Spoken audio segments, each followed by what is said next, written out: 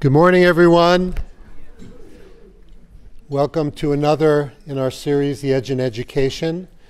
And as you know, this is an opportunity to engage the parent community on uh, trends in education and the direction ISP is taking. And um, one of the major purposes of doing this is so that parents are involved in the conversation.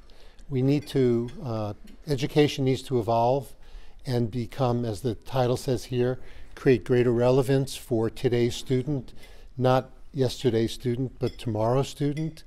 And so that's part of ISP's mission, but that cannot be done without the parent community. And so your voice and your involvement and understanding in what the school is trying to accomplish is extremely important, which is why I'm using this microphone and why we film this so that we can post it on our website so other community members also have an opportunity uh, to, to view and to hear what we're talking about. Today we have with us Dr. Marc Frankel. You may have heard the name Mark Frankel before. Uh, our upper school principal is also Dr. Mark Frankel. Uh, this Marc Frankel has his first name, the last letter of his first name spelled with a C. And I think they have a different middle initial, different middle initial. So uh, they're different in many other ways as well. I've known uh, Marc, uh, Dr. Frankel, for many years. Uh, he is very well known in the international school community. I think it's probably fair to say he not only works with hundreds of schools in the United States and around the world, but probably thousands, and, uh, and for a very long period of time. Uh, so uh, Marc does board training uh, and governance training. Marc does leadership training strategic work with schools, uh, many uh, different facets of uh, school life Marc is involved with. It's really a benefit to us to have his involvement because over a long period of time we have an outside expert who comes back to the school and knows the school's long-term history, has the institutional memory. Uh, and so Marc can share with, with you his wealth of knowledge about not only, not specifically about ISP, but schools around the world and where they're going and how they are trying to remain relevant in today's rapidly changing world. So without further ado, let me introduce Dr. Marc Frankel.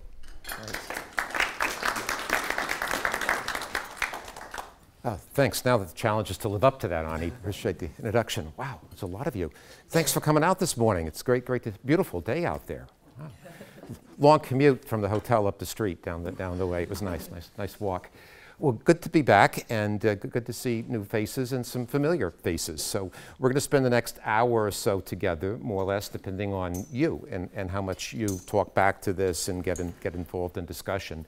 Uh, I apologize to those of you for whom American English is not your native language. I'll be doing this in badly accented American English. So if I say something that's not clear or use uh, a colloquialism that doesn't quite translate, let me know, and I'm happy to go back over it, please. Don't be bashful about that.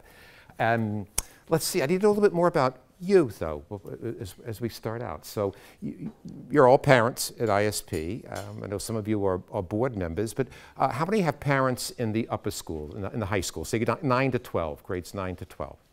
Great. Great. So you're, you, you, guys are getting done. You're, you're almost at that stage, all right? And how many of you are in the middle school, which is what here, Arnie? Is six through eight. Six through eight. Six through eight, a few of you, great. Uh, and you got a ways to go yet. And, uh, elementary school and below. There's a, there's a whole bunch of you, and, and you're just starting out. Great. Well, we're going to have something to say for all three of you groups that are in sort of age cohorts in the school with kids. And for those of you who are, are looking at university admissions on the doorstep, we'll, we'll, talk a bit about that. And for those of you who are uh, back at the sort of beginning and wondering what the course ahead in school looks like, we'll, we'll talk a, a bit about those things as well. So uh, let me throw out a question to you. It's, it's something that, hi, come on and join us that I think about a lot when I go to schools, and I think about a lot in my own life. My, my son went through private independent schools uh, in the United States and, and now is uh, 29 and, and li lives away. And as, as we say, he's off the family payroll, and we're trying to keep it that way. Uh, but, but still, even with a 29 year old, there's, there's questions that keep coming up. And I'll pose one of those to you, just because I'm really curious to hear where your thoughts are with this. Oh, by the way, if, if you see the slides online, you can uh, get the contact info. And if there's, you want a question, you want to ask me for a reference, or I mention a book or something, and you want to go back to it, I'm, I'm happy to, to send that to you. What keeps you awake at night when you think about your child's future? What, what are the kinds of things? I'd like you to turn to, to allow you to turn your tables for just a moment uh, and, and share with each other briefly what keeps you awake at night, and then we'll just get some you know, input to that for the group. But get to know the people around you. What keeps you awake at night when you think about your kid's future? Throw out some things. What, what, did you, what did you hear at your table? What did you say? Anyone? Just toss it out. Yep. Identifying the strengths of the child. Find the strengths of the child. Okay, find those. Yeah, it's often easy to find not so strengths. So strength, yeah. Someone else? Anyone? Silent. Finding stability in the world, finding a, a rock to stand on. Yeah, good luck with that. That's uh, we're all looking for that. But right, that's the stability. What what does that hold for people? And uh, recognizing that our kids need some sort of base. Yes. I think in our table, at least the three of us, Discuss the issue of. Hi. You just, it won't won't amplify, but we're recording it, so. Oh, okay.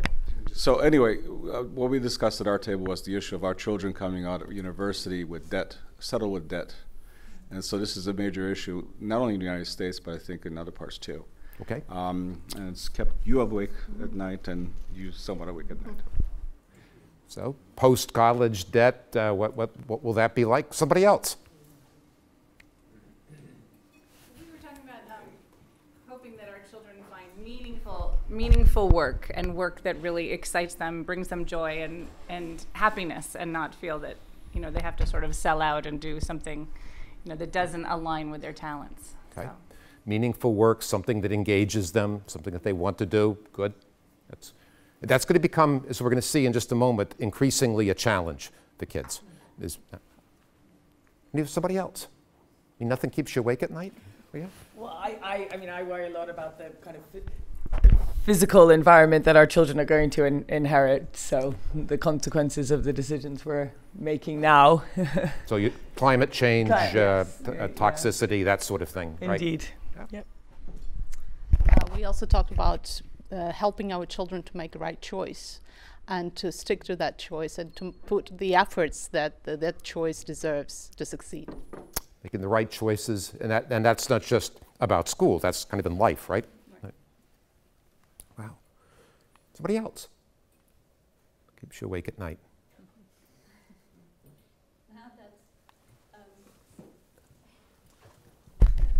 I'm getting my exercise.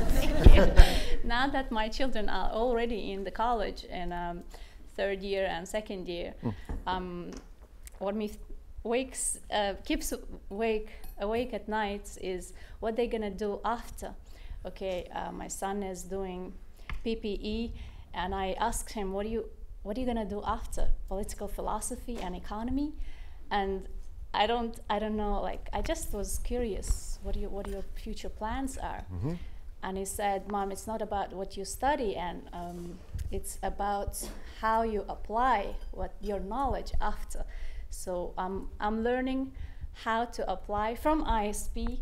I have this thought of how to apply whatever knowledge I already got, and I don't know. So um, he has a point, but it's still, I'm, I'm worried. Sure. Sure. Anybody else? People who just came in were asking, what, what keeps you awake at night when you think about your child's future? What else?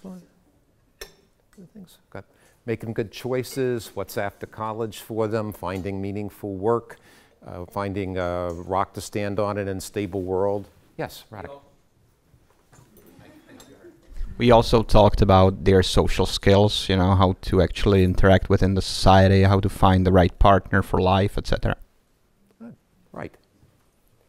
Yeah, well, what you're really saying, all of you, I think, or the, the, your answers is it's yes, it's about school, but it's about more than that. It's more than just the cognitive aspect of life. It's about values, character. That's the choices piece. It's about finding partner, social skills. Big, big, big job ahead. It's this raising humans is not easy work, is it? There's lots of things that would be easier. Well, great. You know, this interesting. That's a, uh, I asked that question uh, about uh, with every group I go go to around the world, and I don't do a lot of these presentations with parents, more with boards and faculty and administrative teams and that kind of thing, because there really aren't all that many schools that do this kind of, of uh, series for you. So I'm, I'm thrilled that Arnie and ISP are doing it. But wherever I've asked the world, on every continent, uh, even in the West Bank and Gaza, the same answers get given. It's the same stuff that people worry about. Um, what's going to happen to my kid after school, after college? What's going to? Will they make good choices? Will they find the right partner and friends?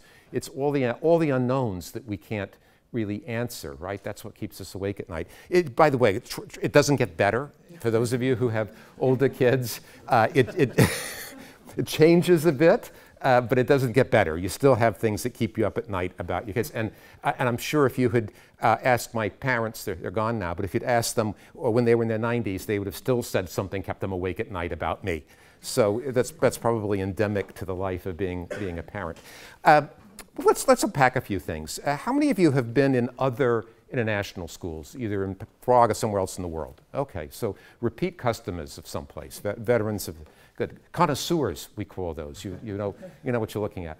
Well, I'm going to be particularly interested to hear from, from, from some, some of you in a moment. But first, uh, let, let's pose a question. Uh, state of the field in international schools. You, you, you bought into one, you're sending your kid here. I thought you ought to know a little bit about what's happening in the landscape of international schools and where ISP fits in. Uh, what was the first international school in the world? Any idea? Where was it? What was it? Anyone remember? And more importantly, who wrote its mission statement? But we'll get to that. Where, no, no idea what it was? Arnie, do you know? I should know that. My first guess was Eunice, but it's probably not. It was the London International College, uh, Spring Grove and Hounslow, out, out by what's now Heathrow.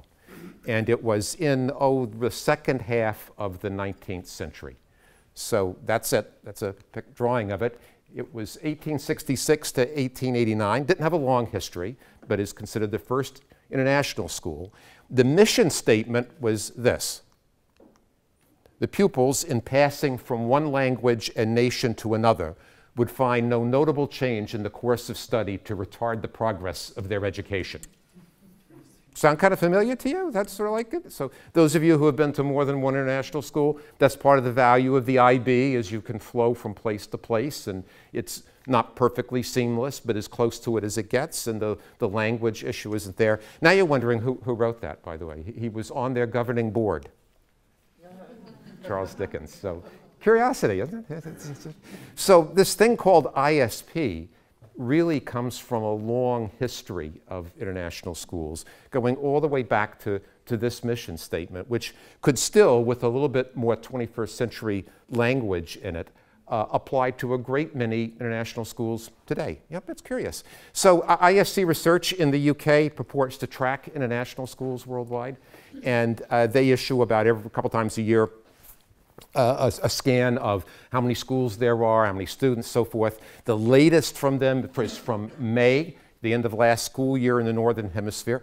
And uh, that's it 9,549 uh, branded international schools in the world. That's, that's a whole bunch. That's up from uh, less than 600 30 years ago. Now, about 6,000 of those are in one country, and, that's, uh, and have opened within the past 10 years. So that's a whole different, a different universe. You, you know the country, China, yeah. Uh, and only about, by my count, and I'm, I'm probably a little bit off, uh, Arnie may know better, only about 400, maybe 350 are true peers in the sense that they are nonprofits organized to serve a heterogeneous international clientele like ISP. The problem, though, is that schools like ISP are increasingly competing with those other 9,000 schools for talent when it comes to administrators and teachers. And uh, if you've got one of those next door to you, for students and families, because uh, the market is becoming increasingly fragmented. And that's a whole other topic we, we could spend a day on, but just want to get a sense of the size of the market. The thing that's getting a lot of attention is that not so much the 5 million students as it's the 48 billion US in uh, fee income. That's not lost on the venture capital world. So, huge venture capital plays right now in the for profit education space.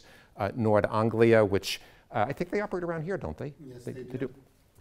Uh, they were just bought out uh, by a Canadian venture capital company that put several billion dollars into them. That comes with a certain expectation on rate of return. Uh, and so there's a lot of money flowing into this sector and a lot of, a lot of competition for schools as well. The question always becomes if there's if you've got 9,549, uh, well, give or take, competitors, and gracious, by the time ISC issues its fall scan, that may well be north of 10. Uh, the, the question becomes how do you know a good one when you see it, right? What, what, it, what does it look like? How would you recognize it? So uh, I'm going to throw that one out to you for a second. You've, especially those of you who have um, shopped, you've been at more than one international school. How do you know a good school when you see it? What, Rowena? When I walk around, I just just listen to what's going on in the classroom and say how much learning do I feel is going on in these classrooms. It's quite hard to eavesdrop as you're going around in the tour, but I, Good. Oh, how much? I just listen to the communication between the pupils and the. And, and what exactly do you, I'm going to press on that, do you hear that signals to you that learning is going on? Um, I feel that students are engaged and responsive, and there's a kind of lively communication between the the um, students and the teachers, and there's that kind of level of engagement. And I also look at the behavior of the children in the corridor. Are they purposeful? Are they um, enthusiastic about moving on to their next lesson? So I'm very much looking at the children, what the children are doing when I'm walking around. Yeah. Great. Thanks for that. Someone else, what, how do you know a good school when you see it? Dorota? Uh, so I, I visited ISP on the 30th of December a few years ago. I came with my kids, so the school was empty. was nobody here. uh, but I, we've got the sense that it's a really a place for students. And you see this amazing artwork on the on the on the walls. And the school is designed for students and for learning. It's not a it's not a, an empty trunk in mean, meaning that it's an uh, you know outstanding facilities and there is nothing else what can be really attached in terms of quality. So uh, you can even judging the, the quality of institution by by the way how it treats uh, students work and and uh, and organization of, of spaces. So even coming on an empty day you were looking for artifacts that say it's about the students. Okay. Anybody else no great school when you see one. What would, it, what would you see? Yeah. Um, I think it's really about the teaching. Um, my mother was a teacher for 20 years, and she always said, "Don't be, you know, snowed by the bells and whistles at a place," because she said, in her opinion. Um, a school is as good as any given teacher in any given year, and I've been impressed over and over with ISP teachers, just individually, and and um, not only their their professionalism, but also their kindness. So. Okay, so it's about the, the teachers and about the human interaction that goes on in that space. Right. Ah. And my opinion is um, for like ISP, my kids are happy here, and I feel that um, that's the most important. I know exactly that um, they they getting good education, but they are really happy and I was in Boston last week, and my daughter told me that, you know, mom, now that I'm out of ISP, I realized how lucky I was to go there, and um, how much how much uh, self confidence confidence I earned, and um, how much knowledge I received. I was very happy to hear that, and um, I think ISP is a great place and I'm happy with the school. And I, um, we went to different school for three years, and you, you, um, even from the teachers, you could hear that um, they're really unhappy with the manage management, and they're ac actually it wasn't non-profit school; it's a private school, but um, not like ISP. they're ki kind of the, mm, it's a profit school. So um, the teachers and students could feel it. Just a quick one. Um, so accreditation, who actually reviews the school internationally, for one thing? Um, the student yearbook, how well it's designed and done, and how active it shows up. And then also alumni, what have they done in their future lives? Uh, one thing that was different from Nido at Santiago in this school is Nido had an Olympic-sized swimming pool in this place. Lacks it, so Got to work on that. Our kids have to suffer something, don't they? And the, the, the acute uh, swimming pool deprivation syndrome is something you can forward with. Uh, uh, great. Well, tho- those are great answers, and, and I, I appreciate, I, I, I like all of them, um, because you're really talking about the many different ways in which one, one would understand that it's a, a, a good a school is good. We're going to unpack some more of that and see how your answers compare to uh, the, the observations from the field in a moment. We'll see if we can do some comparison with that. And Marina, after what you said, I now know I have to get to my last slide uh, for, the, for the, your statement from your child. If, if, you, if I don't make it to the last slide, uh, the quote, then come up to see me afterward and we'll, we'll work it in. Um, you know, there's this weird thing called the modern education quantum, which is this sort of formula that we've been stuck with in schools for a long time. It's X students in Y classrooms with Z teachers for C number of years. Uh, in, in my day, the late Pleistocene era, that, that was uh, 12 years, but uh, today it's increasingly 14, 16, and, and uh, 17 and a half years, and sometimes even more than that, divided by scores. How'd they do? So Friday morning, I was at some meetings in Kuala Lumpur where the area education officer from the uh, US State Department began a speech to uh, two and a half thousand educators in that region by saying, All of you come from great schools. How we know your schools are great is they all have great SAT scores, IB results, and get the kids into elite universities. Okay, that's, that's one set of metrics for evaluating a great school. And then, then he went on from there, but that was it. That, that was the, the, the- what, was, what was put out there. So that's been our, our what we euphemistically call the modern education quantum for a long time. In fact, we can even go back and see it uh, a long time ago. There is a Sumerian classroom from 2000 BC. Okay? You get a little history to it here for a moment. It's kind of, kind of fun. Uh, so you could see, kind of recognize rows there, right? You could almost imagine where the teacher is. There's an early Renaissance uh, classroom, not a great picture of it, but it's a, a, a decent enough image that you can get what they're talking about. Uh, there's a U.S. classroom around 1890. Um, that looks recognizably familiar. Uh, that must have been uh, a U.S. classroom circa 1940. So there's our 40 piece, uh, unmistakable hairstyles uh, abound. There's uh, 1960, so we're kind of getting back to my era there. This is looking real familiar. And um, there's about 2015. So even though we're seeing some changes in the shape of things, it's still recognizable that you have X number of students with Y number of teachers in Z number of classrooms. What that formula is starting to break down in some important ways that I'd like to talk with you about. And I think it, it speaks to things happening here at ISP. I had a chance to read your accreditation report. Um, it's, it's all, you can always brag to your sister at Christmas that you know, your kids go to a school accredited by the same organization that accredits Harvard. So see, yeah, that may be bragging rights. Uh, I read your accreditation report. I looked at several other things from the school. So I know some things, you're, you're changing the geography of learning in the school and within classrooms. But we still have that formula that's there. So it's changing. And we're going to talk about how it's changing in some ways. And also what's changing is the denominator, the scores as, as the metric of, of outcome. Modern grading. What's the history of modern grading? The A, B, C, D, E rubric for grading. When did that start? Any idea? Pardon? End of 19th century. Any other takers for another time?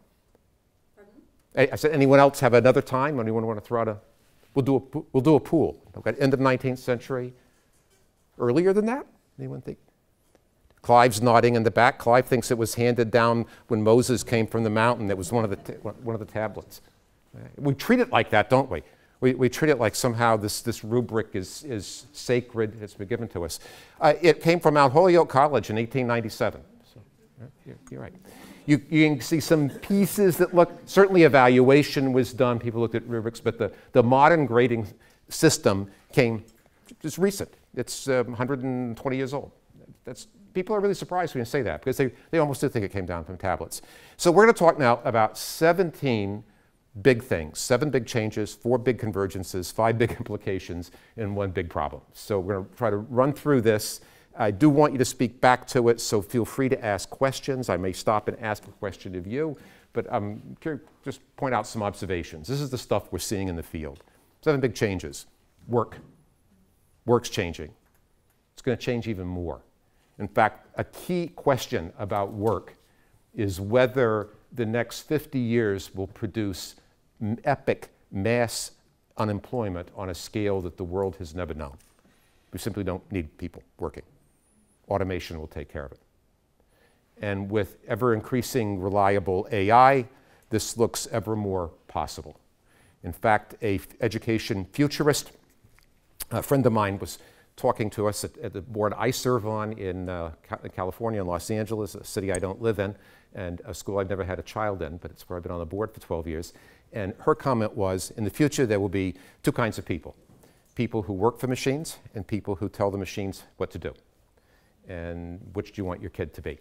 So it's an interesting. The third group, I'd say, would be people who simply have no jobs because it's, it's, there's, no, there's no places in the economy for them. And that's increasingly going to be a social challenge for the world. It's something our kids will have to deal with, and a problem that we're all going to have to solve over the next few years is what do we do when up to 40% of the adult working age workforce is not employed?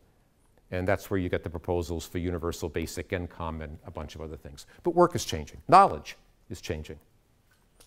The big change about knowledge this is big, it's free. There is no value add in what you know. Sorry to tell you that. Because you can find it out. Commodified. Knowledge is a commodity. You want to know it, you can find it out. You want to know when the first international school was, you can find that out in about 10, 10 minutes, 8 minutes. You want to know when the grading system, grading system began, you can find that out very quickly. All this information is publicly available, ubiquitous, 24 7 streamed to us on our smartphones.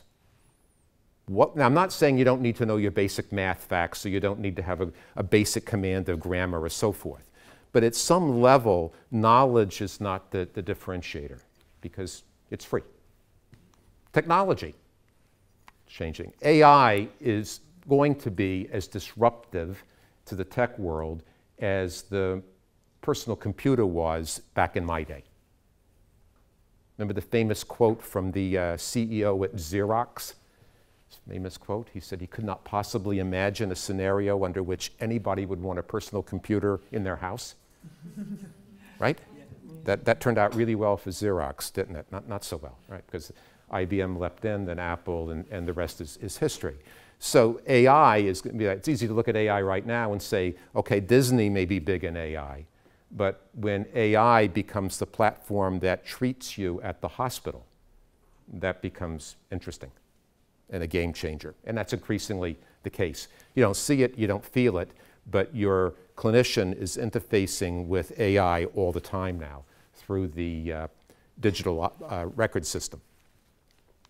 Higher education is changing. So if you have a kid in higher education, that landscape has gotten really weird in the past few years. And the two big, put aside all the um, affordability, debt, sustainability issues, not that they're not important, they're very important. Let's just get, get within the mechanics of it. The demand for higher education is redistributing around the world. And every year this gets more so, where US universities become less desirable and more students from international schools matriculate to other schools outside the US. Some in the UK, some in Canada, but increasingly in the EU and Australia. So business school rankings are now fascinating to look at. 15 years ago, eight of the top 10 business schools in the world by most sets of rankings, we can quibble about that one at another time, were in North America. Today, only three are. INSEAD, IMD, others have gone way up the list. UK schools. So that landscape is changing dramatically, which means that we're going, to, we're going to talk implications in a moment, but you might be jumping ahead of thinking that schools like ISP have to get students ready for more varied university destinations. some of which may not be operating in English. Geopolitics, that's your stability question. All the stuff that we can't control.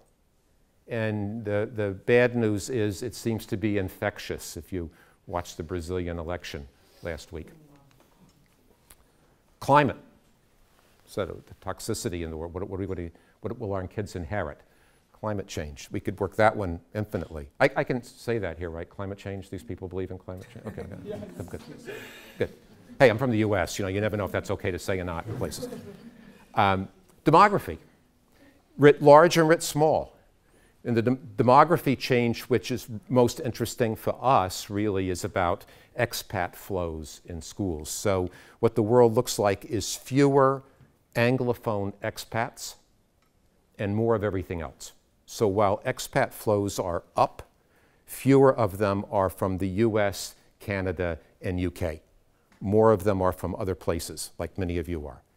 And that begins to change some of the calculus for, for schools a bit in terms of who's coming to us and what they're coming for and how we have to serve them better. Seven big changes.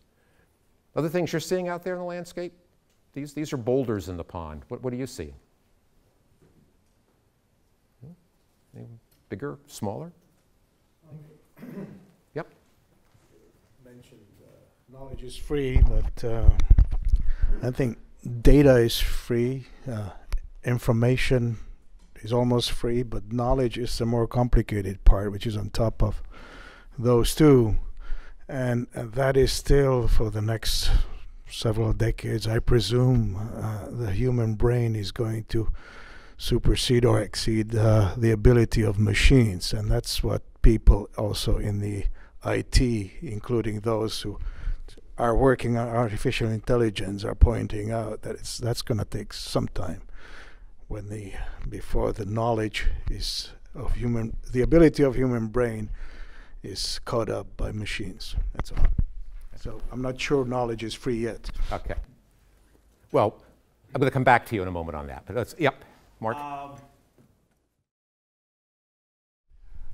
uh, kind of social i get tribalism a cohort we are in a elite cosmopolitan cohort there are other cohorts to be aware of? There are. Uh, it's, it's fascinating to, to think about. Uh, forgive me for using a US example, but if, if you look at Manhattan in New York City, it voted uh, 85% for Hillary Clinton in the, uh, the last election. Uh, but just uh, how far is Staten Island? about, but not, not, straight miles, about three or four? Yeah, three or four miles. It voted 75% for Trump. Right, right there. Same, same city. Fascinating. Fascinating. What? Fresh Kills. Yeah, I know that, that horribly named. Uh, yeah, dumb. But that's interesting. Yeah, this whole the, the, the, landscape of what do we share? What happens when our community engages with others? How will our kids be prepared to engage with others? Big changes. Uh, let's talk about four big convergences. This gets a little more out there, but it, it's certainly the stuff we're seeing. K-12 and higher education. It's it's blending.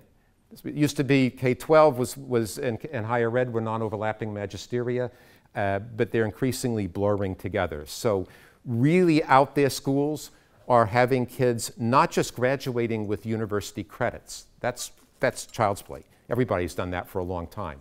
But graduating having had the experience of sitting in a university classroom or seminar room with university students and university professors. And what that's doing as a game changer is less about credits and more about the skills of how you go to university. Because we've got this problem in the world, uh, and it's, it's, data which is, is not publicized by schools, but the mean years to graduation in the United States, you, I only know this for the US universities. So an entering freshman this year, Emma's a freshman this year, or is this her second year? First year. Any idea what's the mean years to graduation at a U.S. university? Average. Any idea? Five and a half in climbing. Mm. Oh, yeah, you start saying, oh, geez, that's five and a half years of tuition, right? You suddenly uh, hit you. Yeah, so that means four years is so yesterday. Five and a half. And 51% of students that enter U.S. universities and graduate, graduate from a school different than where they started. That's, by the way, how part of the reason how you get to five and a half. You know, no one experiences changing universities as a credit enhancing thing. So you, you lose something. So one of the things we're seeing is more out there schools focusing on how do we blur that boundary between this and higher ed, not just because learning, and our, our high school kids are perfectly capable of doing university level work, but how do we create more of knowing how to sit in that classroom, work independently, do that work, live on your own, do various things of that nature, blurring of that boundary. School and work is blurring. Not just internships anymore, full on co op placements. So many universities have done this for years. Drexel University in Philadelphia has had a noted uh, co-op placement program for decades now. We're seeing more and more upper schools, high schools doing that as well, finding ways to build ties to industry so that uh, students who are interested in a health careers or the biological sciences are working alongside physicians and microbiologists in healthcare settings. And that, that takes authenticity in learning up a notch. Because not only are they now learning to work like them, they're learning side by side with the people who are actually in the field and doing it. It also starts to break down the boundary uh, between what, what's a teacher. You know, is the teacher in the school the person who provides the knowledge, not so much anymore, as it is the person who coordinates the interface with all this outside world? Info and biotech, infotech and biotech. So maybe this is where the, the brain gets to be most important. Um, my, my, friend, who's the chief of cardiology at Cedar Sinai in LA, was walking me through this a couple of weeks ago because we were, we were talking about how, uh, a, how AI is getting into medicine. So if you're a patient who comes in to Cedar Sinai, all your data gets input, the algorithm forecasts a treatment plan for you. And the treatment plan is amazingly accurate to what a team of consulting physicians would prescribe. What it gets around is missing something because it's capable of factoring into account thousands of pieces of data. And on net, the outcomes are better than with live human doctors alone doing it. It's interesting. It's an interesting result. So, Uber and self driving cars, hospitals and self driving medicine. Cognitive and emotional intelligence. So it used to be our schools back in my day were mostly about cognitive intelligence. We focused on what people knew, what certain skill sets they had developed, how quickly they could do computations, whether they could do long division. That stuff's table stakes a long time ago. Now it's much more about can you do all that stuff and be a good human being? Can you do all that stuff and have the social skills to fit in when you get to work? Because that's what's going to make you a, mean, finding a meaningful job is one thing. Being successful there is all about what we've used to call the soft stuff the, the emotional intelligence skills. So we're tracking those. This is curious. Uh, when we get when we look back here oh no, i didn't want to do that. I didn't want to go back hit the wrong button. Forgive me. When we talk about changes in the world of work one of those pictures is a workplace and one of those pictures is a school, upper school. Uh, can you tell which is which?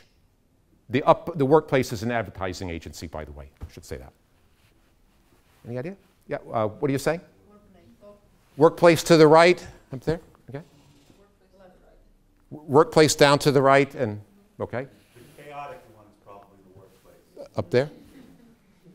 It's interesting. People have all kinds of different answers to that. Someone said, oh, yeah, that's got to be the workplace, the school, because that green thing is uh, in, a, in the child division at IKEA.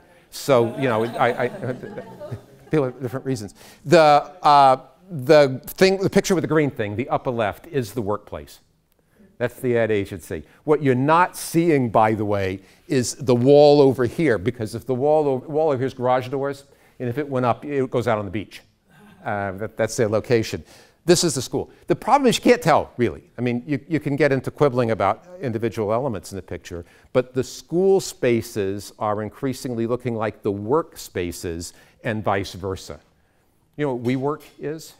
WeWork modular co-working spaces? Yeah, it's school now. That's, that's what it's all becoming. All right, five big implications. So what does this mean for, for ISP, schools like ISP? Uh, demographic shifts within schools are happening. demographic shifts are occurring within you, within populations. It's very unlikely that the community at ISP will look exactly like it does today in a few years. It's going to keep morphing and become ever more heterogeneous. If we were in uh, Asia, it would be very easy for it to become 100% uh, Chinese, Thai, Japanese, Korean. It's all progressive now. The school that I'm a board member at is a, a highly progressive school. We've never given a grade in the 50 year history of the school. We have uh, never uh, done this kind of standard evaluation rubrics. I'll put our university admissions list up against anybody's in the end. But what we're seeing is that more and more schools are copying what we used to call progressive pedagogies, including ISP in, in large measure. Students are both more and less mature at the same time. If you want something really scary, um, well, we're, we're, after Halloween now, so I can say this. So, want something really scary as a parent? Go pick up Jean Twenge's book, iGen. Twenge, T W E N G E, I Gen, G E N. It's about the pernicious effects of, of social media on middle schoolers, which, just a parenthetic aside, is the fastest growing population at risk for suicide middle schoolers. Middle school is the new high school. All the, all the social problems that used to affect high schools have backed down into middle school now. It's only a matter of time before they back down into high school, into elementary school. So 2007, the uptick in suicide attempts and completions in middle schoolers began around the world, and it has shown no signs of abating. It's getting steeper. What happened in 2007? iPhone. Yeah. iPhone. Ubiquitous social media. Now you know instantly that you were omitted from your friend's hangout this weekend. So you, you see the pictures streamed live on, on the screen. So that's putting schools more in the psychotherapy business. It's upping the ante for what our counselors are doing and for the social support that schools are needing to provide. That modern education quantum is finally eroding. We're seeing a breakdown of that class, teacher, student, ironclad rubric as it's morphing out into work, it's morphing out into higher ed, and into much more project based environments. And doing is replacing knowing as a differentiator. It's been about 10 years since uh, Tony Wagner, if you know Tony's work, uh, famously said the world doesn't care if you're smarter than a fifth grader, it cares if you know what to do with that information. You can use it and apply it. Whoops, there was, one, was there one more? I think there was down at the bottom. No, that's it. That's the five big implications. So, we have one big problem. It's a problem that, that ISP, more than most other schools I go to, has been able to get past. The big problem is conservatism. So try this on for not, not political conservatism, conservatism about what people want schools to be doing with their kids. So try this on for a second. 1960, gallbladder surgery four to six inch abdominal incision, separation of or cutting through muscles, accessing the gallbladder under the liver. Recovery time was two to three months if you were lucky, and it was a four plus day hospitalization. Okay? 2018, gallbladder surgery is now minimally invasive, laparoscopic, robotic assisted, single opening in the belly button, and the patient usually goes home the same day unless there's a complication. Now, which surgery would you like to have? Okay. Probably neither, but if you had to have your, your gallbladder out, I don't think we're going to have many takers going back and say, give me that old 1960 surgery, right? We're just not going to go back there. The problem is that for us as educational thinkers, 1960, school consisted of X plus Y plus Z. In 2018, it still does. And so, well, technology, and I don't just mean the devices, the whole panoply of technologies, eventually enable the first real disruption. Will parents and teachers accept it? Because when it comes to school, we tend to become incredibly conservative with our kids. So schools like ISP, and I think ISP has done this really well, play this interesting uh, game always of trying to push a little bit out, but not get too far, and then bring the community along with you. But what's happening are some really fundamental shifts out there in schools. Some of it is way cool, and some of it is way scary when you think about the kind of world that we could be moving into.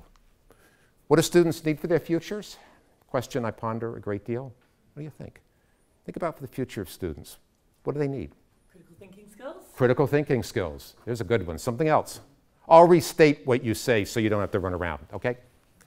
Somebody else. Critical thinking skills. What else? What do they need? Language intelligence. Uh, Sorry, more languages. more languages. Emotional intelligence. Emotional intelligence. Okay. Networking, which a little bit of the emotional intelligence is important to have a network that's any good for you. Yeah. Right. Somebody else. What do, you, what do students need for their futures? In near future, programming skills. Programming skills. Programming skills. Flexibility. Flexibility. Could you say just some more about that? Meaning? Uh, meaning that you have to adapt to new situations, new countries, new friends, new uh, jobs, and things like that. Right. Right. Communication skills. Communication skills. Right. If you're doing all that flexing, you're going to need to be able to communicate with a lot of different people who may not be exactly like you. Right? Teamwork. Teamwork. You know, it's interesting you say that. I had a conversation with my son uh, not long ago. I, I rarely bring, bring him into these conversations, but uh, I'll, I'll tell it, I'll re- retell it. Um, like me, uh, my, my goal in school was just to get through it and get on to what was next. You know, just, was, that, that was pretty much it. He had the same mindset to it, you know, get me through this. But he went to, at least in secondary school, a very progressive school with a project-based curriculum and went to a university that used entirely a project-based curriculum in his media business degree. Um, and it worked, worked wonderfully for him, I thought, although he complained about it continuously through the whole thing. So uh, he's leading task teams now. He works in that ad agency, by the way, the picture that was up there, um, doing commercials uh, for, for a, a large company and filming crews. He's a, a, creative director, so he puts together the project, does the portfolio, does the design of it, uh, hires the crew that implements it. So I said, So, all those years in school, did you learn anything that really helped you? And he said, Well, not a lot except for one thing. Any idea what he said? He said, I learned what you do with the member of the team that's not carrying their weight. Right? Because there's always that member. And that happened really early for him. So teamwork is about not just how do I get along, it's how do I manage this, how do we work around people. Right. What we know about what students need and what you're saying is that they need a certain capacity when they go into the future, and that's the ability to figure stuff out. So, yeah, they need the math facts, but they're going to need to know how, when they get out there and are in a place or a setting where there aren't the usual rules or there's something really different, how they can then apply what they know or find out the new stuff they need to know in order to be successful there. A lot of challenges for the national schools. Very quickly, different students, different needs, more uh, SEN, uh, EAL support, um, self-pay families as the demography changes, demand more, driving costs more, driving tuition ever higher. Has ISP gotten cheaper lately for anybody? No, no, no. not, not gonna either by the way, because your productivity has gone down in international schools. teacher productivity has dropped 40% since 1980. Well, 39, but who's quibbling? We, we have the, the number of data because you have to have more adults producing students to be the counselors, learning support people. Attracting and retaining talent. Rebuilding the airplane while it's in the air. You know, once you don't have the luxury of shutting school down for three years and re-engineering it and starting over again. You have to keep fixing it and sending students on to a more varied array of destinations. And this one, unification in the face of polarization. You said tribe earlier. There's even within international schools, there are tribes. And ours is a very um, polarizing world right now and finding ways to bring people together. So, how do you know a great school when you see one? Here's how I gauge it. When I walk around and walk into a school like this, when I stop off for visits in places and then we'll have a discussion, community. What does that feel like? Maybe it's the buzz in the air, but it's also people like this. You come in and sit down together and you listen to something like this, or you discuss and you participate. It's what happens out here in the morning and the drop off. You can say, isn't everywhere? Yeah, everybody's got a drop off line. But what's the vibe in the drop off line? What's the tone? What's the ambiance in the parent community? Great schools have great communities. And that's as intentional, as, as strange as it may seem, they get very intentional about community. Second, engagement. Everybody's engaged. Students are engaged. There are student engagement surveys that schools use to measure this, but also parents are engaged. Teachers are engaged. Now, someone's saying, gee, what do you mean? Teachers are engaged. Aren't they, aren't they really engaged? Not all, not everybody. But great schools beat the Gallup organization odds. You know Gallup, they do lots of surveying in schools, and they tell us that even in international schools, we've up to 20% of our teachers aren't particularly engaged at any given time. Great schools beat that number. Learning. Great learning is going on. And here's the thing kids themselves report it, parents see it happening with their kids. They don't know how it happens, but it somehow happens. And they see it evidenced in a variety of ways. So at our school, where I'm a board member, our graduation exercise is a great display of what students get to know. We take Ted Sizer's dictum of graduation by demonstration very seriously. So graduating isn't about just compiling credits, it's about doing a cumulative project and an orals defense of it in front of a group. When you see that, you say, wow, students have learned something. What, what do students know how to do and can do with what they know? Doing is that other piece. They're out there, they're in the community, they're around.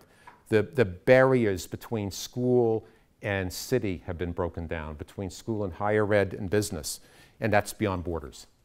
That's how I, how I gauge it. So, your learning principles, pulled these up last night, was looking at the, at the ISP learning principles. I get excited when I see things like this. And you could say, wow, uh, doesn't every school have? No, not every school does. And schools that have learning principles don't always have the words that I've bolded up there. The bolding is mine. The, uh, the rest is, is your text. Curiosity, knowing what and why, how to go further, persist, relevant, rich, connect complex ideas, apply learning, and feel a sense of safety and belonging. It's great stuff. It's great aspirational stuff, too.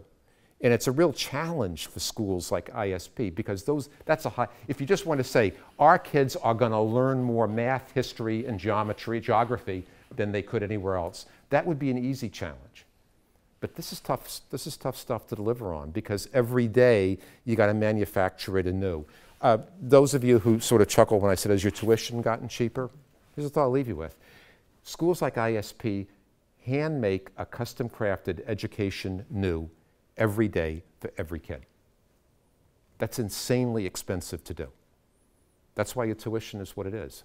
But it's what works because it drives at these things, which dovetail with what we know will help our kids be successful in the very uncertain and unknowable future.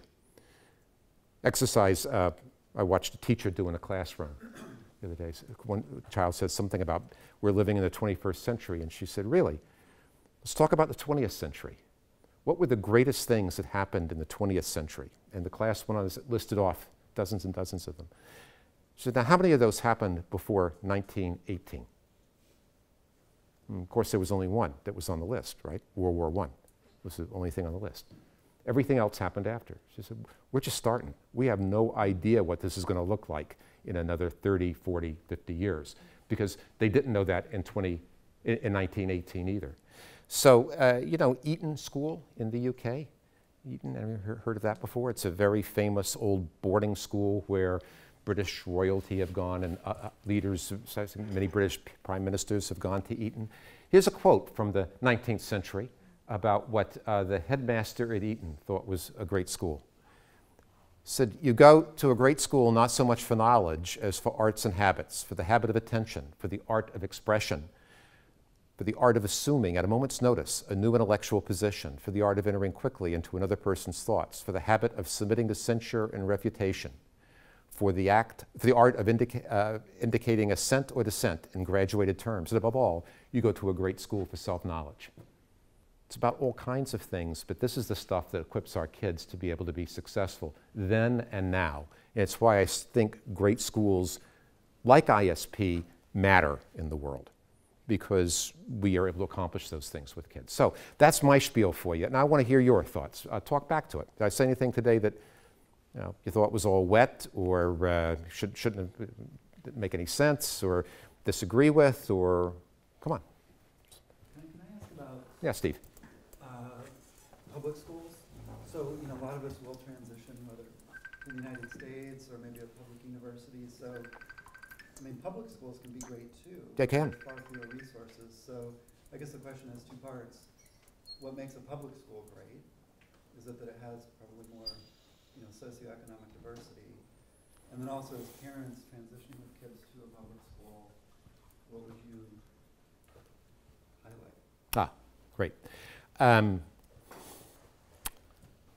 well, I'm going to have to put a big modifier on, on what I say. Okay, so I, I, I, I want to know what I don't know, and I do absolutely zero work in public education anywhere. So um, that's not a, a, a realm where I have any experience to draw upon. Um, so, with that disclaimer, um, I'm not going to talk about what makes a great public school, although when typically when I see those lists or uh, when, a, when a magazine does a story about the five cool things in public schools and I, I read them, they sound a lot like your learning principles. They sound like they're doing things that you're doing here. So that, that's just the only, only thing I know about that. Transition wise, um, I'd, I'd say two things. First of all, the field experiences, kids coming out of schools like ISP do really, really well. Uh, the trick is going to be to find a school where they're going to feel like they can continue to do things the way they've gotten used to doing them. Because they may go into an environment that's going to be a little more structured and, um, and dry, let's put it that way. So I think it's, it's looking for districts that do the kinds of things that you're doing here and have the same sort of student centeredness. So uh, someone over here said it's, uh, forgive me back at the beginning, said it's about the students. I walk in, I see things that are about students. That's what I'd say. If you can walk in the district and say, this is about the students, not the teachers, which tends to become characteristic in too many schools, then your kid's going to do just great fitting in. And they're not going to feel bored because they're going to be able to move ahead at their speed. Anyone else? Yes? Um, on one of your slides, you had something about self-paying parents. Yes. Well, um, are you talking about the, the families that actually pay versus the families whose businesses pay, or is there a difference there? Yeah, I, uh, I, I moved past that one because I didn't want to get, I, I was trying to hit our time point here, and, and I, I can back up to that just briefly. Um, the, the, the 2000 era expat is a rapidly dwindling breed. Um, the 2000 era expat had a full expat package that covered housing, um, school, travel, so forth. It, today, you're either likely A, not to have a package if you're an expat, or B, you've been grossed up in some way, or there's a cafeteria plan where you get a lump sum and choose how you're going to allocate it. Um, and what, what we know is that when that's true for families, psychologically it feels like it's self pay, that they're paying out of their pocket. Even though the company would say, well, they get X number of euros benefit for, for it, for them it still feels like that was income and now I'm spending. So we're seeing fewer uh, in international schools like ISP, those, those 350 or so, we see fewer people on the full expat package, more people either self paying because they're either locals or they're expats in different kinds of industries that don't have expat packages, or they've been grossed up or uh, cafeteriaed in some way where the check is still coming from them. That's the big change. So international school demography is looking more like private independent school demography, say in the States, where everybody's writing a check. Here, more and more people are, are writing, so we don't write, that's, that's so last year. uh, direct debit is something now. Uh, but that's a, um, that changes the psychology in parents' minds of what they want. It makes them more price sensitive on the one hand, but they don't demand less. So, in fact, we demand more because we want our schools to be doing ever more for us. Hence, the price point keeps rising. So, it's, it's just a different psychological mix within So schools. Saying that, that, that parents who actually pay directly out of their pockets seem to be more involved in schools than parents who pay less directly out of their No, no, I'm saying they have greater price point sensitivity. Okay, okay. Because I, I had heard, I heard that from somebody here, that there was a difference. I, you know, um, I, what I would say the difference, that would be a, that would be a covariate. Uh, if, if you know statistical terms, it's not what's it's correlation. It's not what's driving it. What's driving it isn't that I'm paying. If I'm on an expat package and I know I'm in the country for two years, the incentive to get deeply engaged isn't there. Uh, if I'm there longer, I think it correlates with length of time you're likely to be in a school. But now, really, what I was meaning by that is that price sensitivity comes up, um, even as we're saying all the more things that we're asking schools to do. Just comment, upon disruptive technologies and disruptions in the future social fabric. And so my son did his first week without walls, and he went to farm to table. And they had their cell phones taken away for the day. They had to do manual labor actually on the farm. And so some of the kids cried, some of the. It was, was, wasn't a long period of time. You also visited Gaza, where there's a lot of disruptions going on there with AMX. So how are schools preparing our students for disruptions in their future, which could be small or major? Um, touched upon World War One, 1918. Think that's hundred years from now.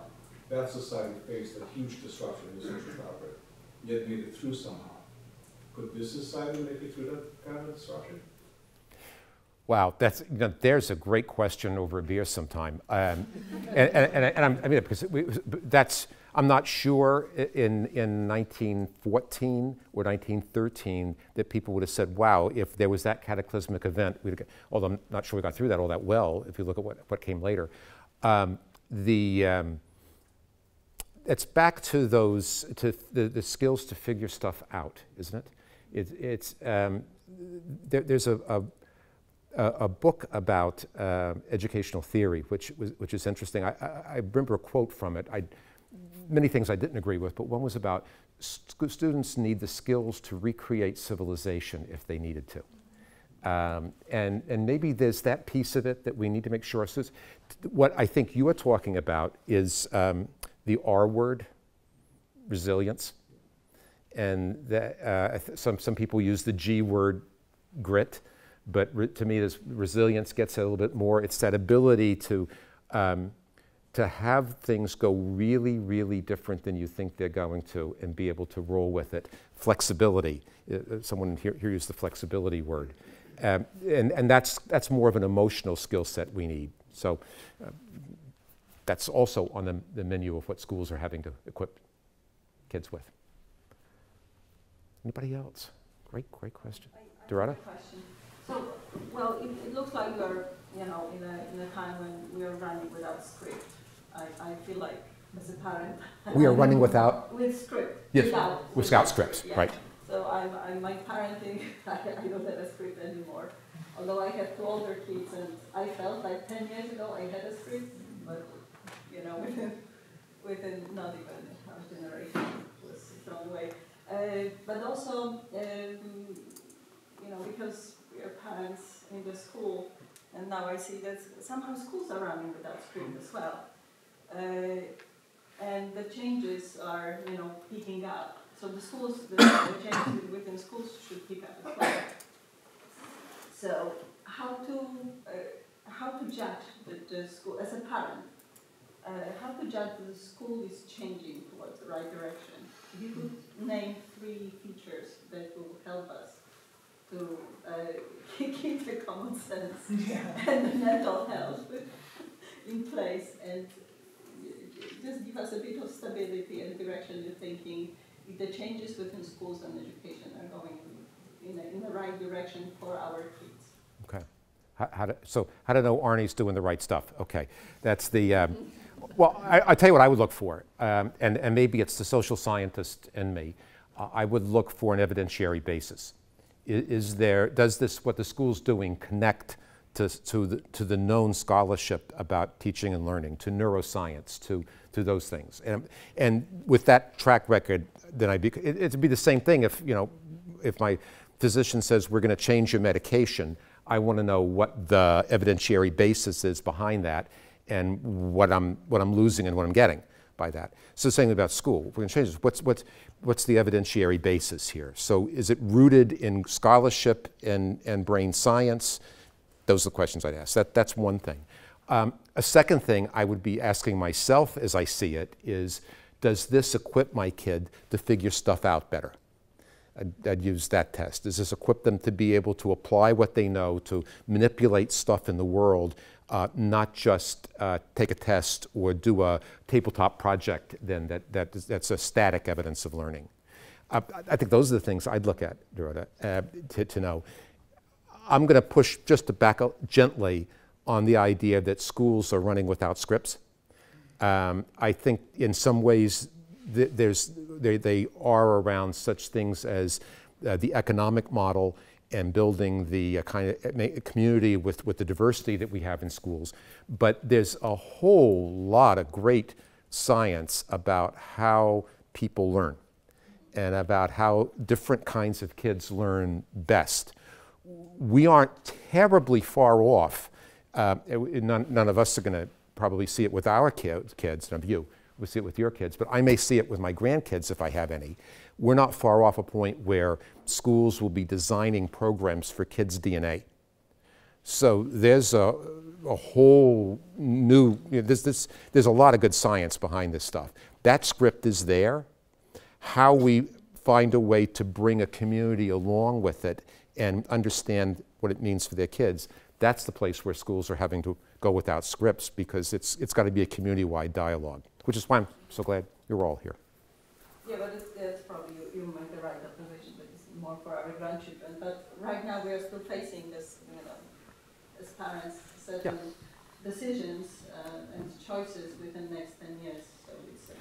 Yeah, and I'd also say that one of the things that parents lack Mark's observations. So, uh, although I think a number of my colleagues in the mental health field would, would agree, um, I'm not an educator, I'm a mental health professional. Uh, what, what we all lack as parents, I knew I did, was confidence. And we, we, we kind of know what's the right thing to do, but we're scared.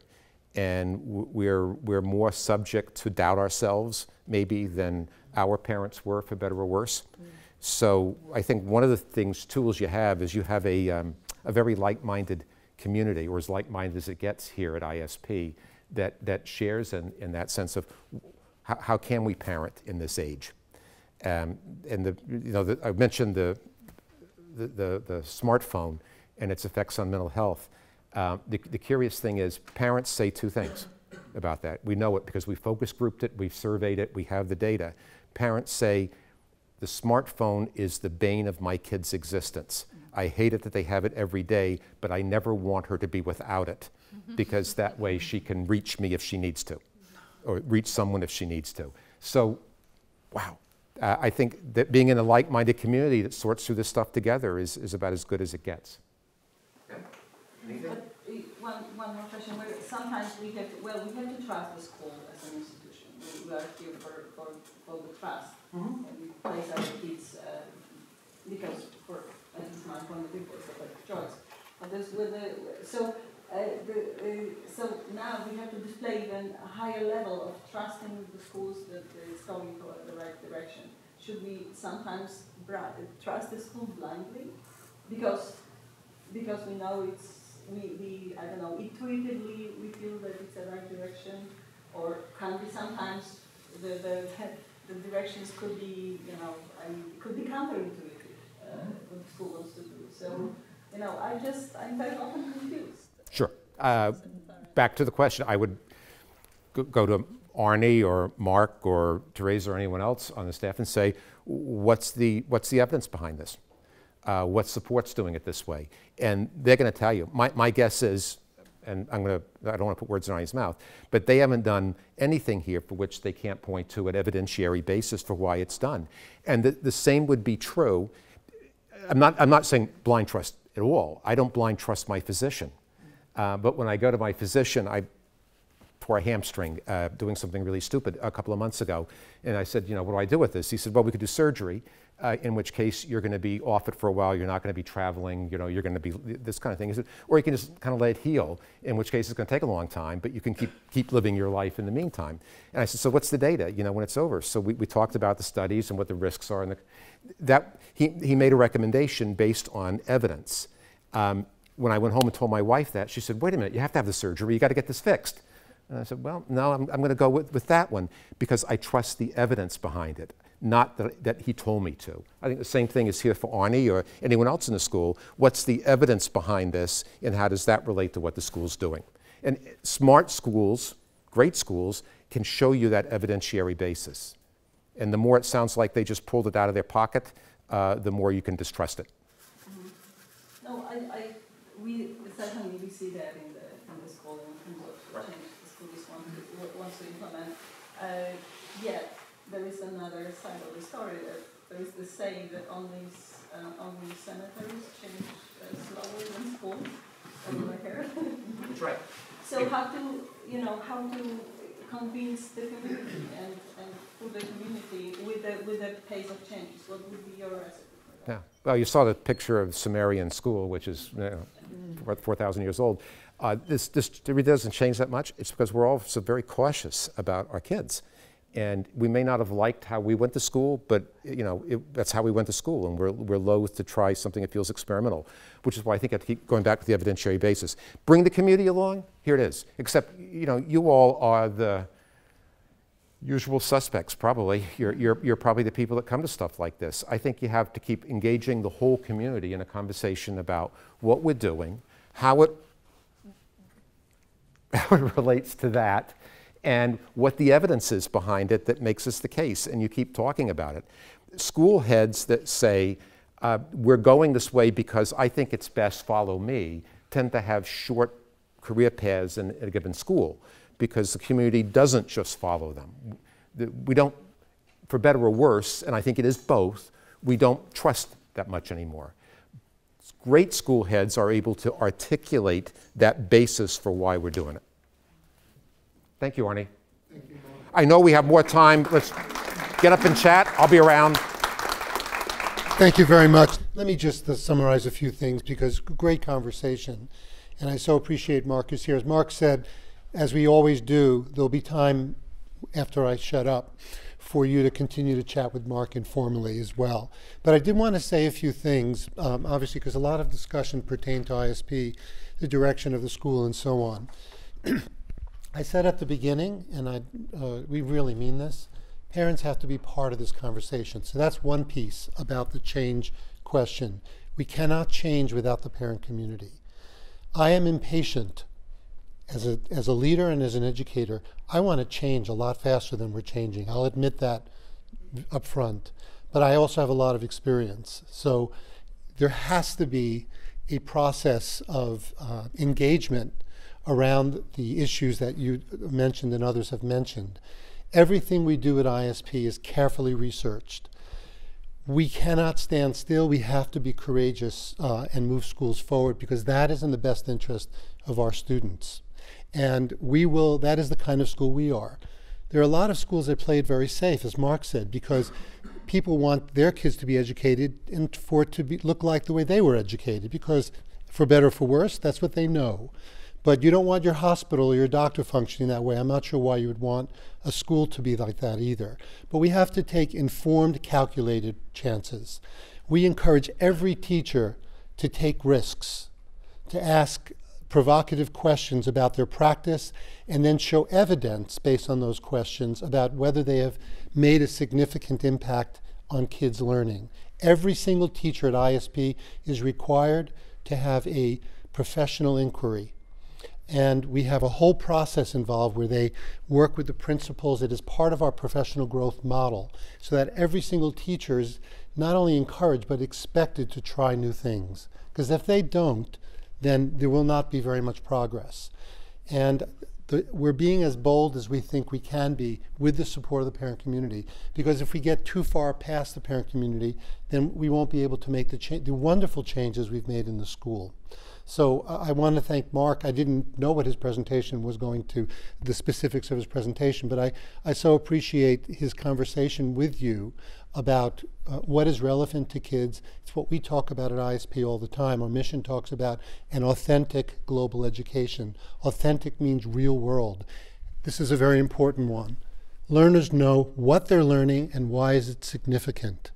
When a student raises their hands and says, Why am I learning this? the answer cannot be, It's on the test, it's in the curriculum, you'll, you'll get a good grade. Those aren't why answers that suffice anymore. They need to understand, and we need to understand why kids are learning what they're learning, and that's what we focus on at ISP. So I, I, I, I, there were two other things I wanted to add.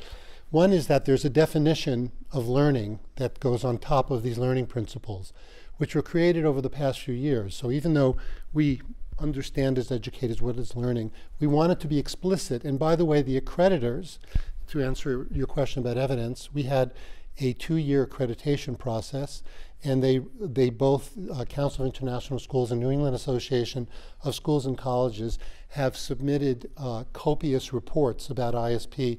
Those reports are available to any parent in the community.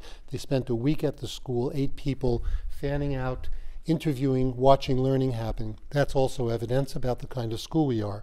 The definition of learning, this is ISP's definition of learning that belongs on top of the learning principles. Learning is a transformative process that builds on what we know and can do, deepens what we understand, and changes who we are. That is our definition of learning. That was not a quote from anywhere. That's something that we created over a lot of uh, collaborative work. And that's what we're all operating on. This is what we expect every teacher in the school. This is the evidence we look for. Do learners know what they're learning and why it's significant? Do learners know that uh, where they are as learners and how to go forward? We can look for evidence of those things. We can talk to kids. We can uh, assess kids in different ways and look for that evidence. That's what our expectation is of learning at ISP. One final quote, uh, which is a favorite of mine from Alvin Toffler, who said this in the 1970s, and it's truer today than it ever was before. The illiterate of the 21st century will not be those who cannot read and write but those who cannot learn, unlearn, and relearn. And that is all about adaptation and flexibility and figuring out how to navigate the world and face all the challenges that come forward. So I want to once again thank Dr. Frankel. He will be here uh, to chat with you further. I also want to make sure that you know that our head librarian, Jay Scher, is here. You want to come up for a quick second? She always brings lots of books uh, connected to the topic and other issues. So turn over to Jay. I don't need to say much. They're here. I hope that you will look through them. I will mention, though, I did not bring iGen, which um, Dr. Frankel mentioned, but there are a couple copies in the library. If you would like to read that book or any others that you're interested in, stop by. Um, of course, what we have, we're happy to share with you, but we'll also order for you if there are books of interest that you know of or you're interested in ebooks or audiobooks, we can set you up with that as well. So please come look at what we have and ask questions, check anything out, help us to create a library that's useful for all of us. Thank you. Thank you.